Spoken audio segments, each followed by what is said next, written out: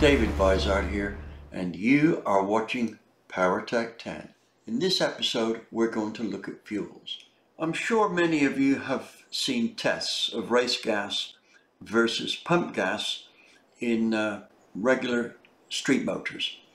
And the truth of the matter is, at lower compression ratios, the race gas often makes less horsepower than the pump gas. Now, why is this? Mostly it's because the tune of the engine hasn't been altered to suit the race gas. It's just been an A to B test and that's it. A point on leaded gas. Leaded gas, that's the high octane stuff that the uh, race gas manufacturers produce, um, has a longer delay time at the point of the spark going off. Consequently, very many of the tests done on race gas are done with the ignition timing not quite at the right point for the race gas. But even so, that high octane race gas sometimes, even when it's optimized timing wise, still doesn't make the horsepower that pump gas will make. And I'm talking about compression ratios now, maybe up to about 11 to 1. However, let's look at another aspect here. You can get fuels that are oxygenated. Now, an alcohol is an oxygenated fuel. Methanol has a certain amount of oxygen in it.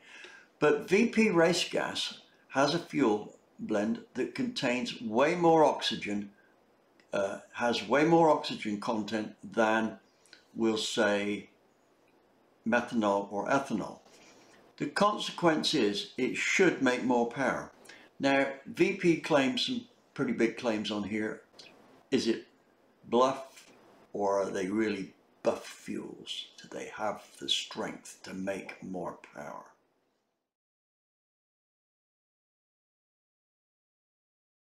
Let's talk about the test engine. This was a 496 big block Chevy that I built, oh, some years ago now. I think I originally built it to test some AFR 325cc big block heads. I ran these out of the box, they worked very well, and then after that I ran them just cleaned up. Nothing special, just a 60 grit emery job through to just clean up the uh, uh, joints between the machining in the throat and the short side turn and a bit of work around the guide. You could say it was pocket porting right? And that was about it. The heads worked very well. In fact, I did a bunch of head testing at that time and the AFR 325 head came out on top. Uh, I think I tested Dart, Edelbrock, Bill Mitchell's heads, that's uh, World Heads, and uh, a few others. And the top runners were AFR and Dart. They were pretty close. Let's go on and look at the engine. It was a 10.5 to 1 and it was run on pump gas. We did check it on race gas and it dropped power. And that's with optimizing, jetting and everything. It dropped power. Now, the next thing we decided to do, well, let me go, let me deal more with the spec before I go into anything else. It was um, hydraulic roller cam. That was a comp cams grind done to one of my, done to one of my specs. Uh, made very good power band. I mean, it pulled all the way down to as low as the dyno would pull it made lots of torque. Now, here's how you tell whether an engine's good on torque or not. If it's got a compression ratio around 10, 10.5 to 1, then it should make between about 1.38 to 1.4 foot-pounds per cube. If it does not, it indicates it was a bad build, i.e. too much friction, or a bad camshaft. Right, I say bad, spec'd incorrectly. And the normal thing is with a big block is to spec the cam on far too wide a lobe centerline angle. You need to look at some of my cam videos and you'll get an idea why the lobe centerline angle is the most important thing there is. Ignore what everybody else says. There is, as far as I know, there's nobody on the face of the planet who's done more camshaft testing than me. So, I'm having people of less experience contradict me. That's not such a good idea. Anyway, the point is this, the engine made high 700s on horsepower and high 600s on torque, which was very good. And it was totally street drivable on pump gas. So here we go on that test. This I ran at Terry Bolter's. My late daughter and I went up there with the engine and we fooled around with it for a couple of days up on Terry's dyno.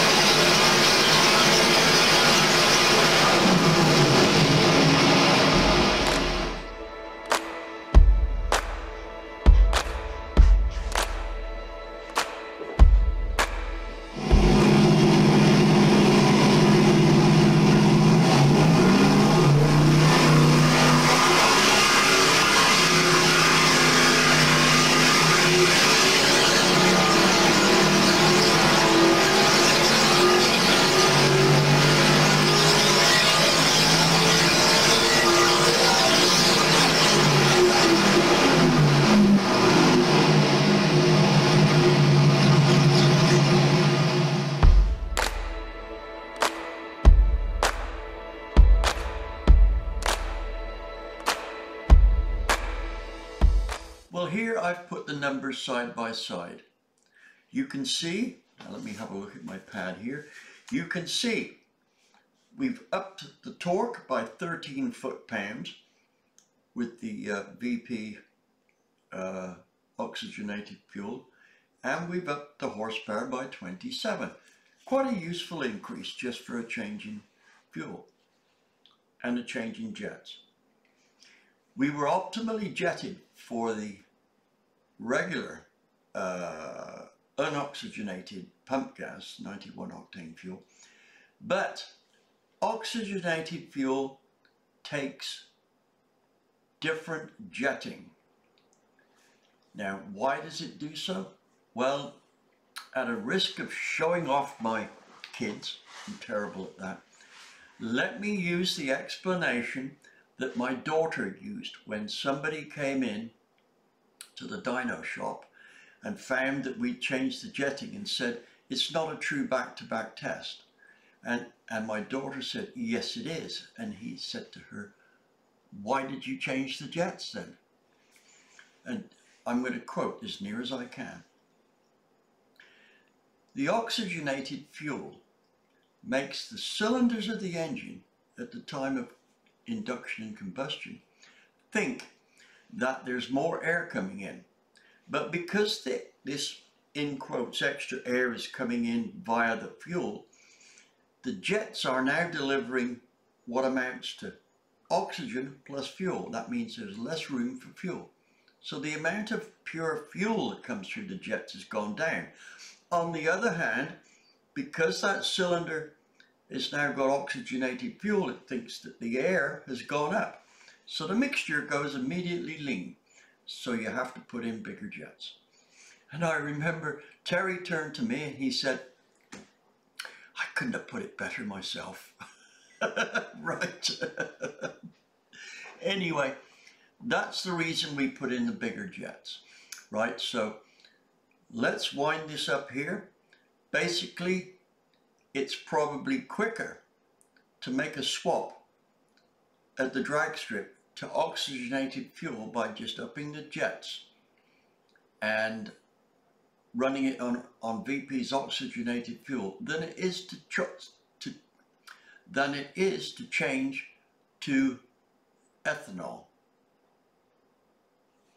But if you're going to do some other changes to the engine as well, then the ethanol would be a better bet.